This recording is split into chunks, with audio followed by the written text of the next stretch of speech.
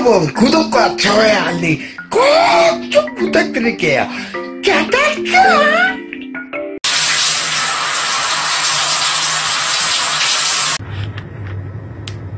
안녕하세요. 아, 형이에요. 앞으로 방문해볼게요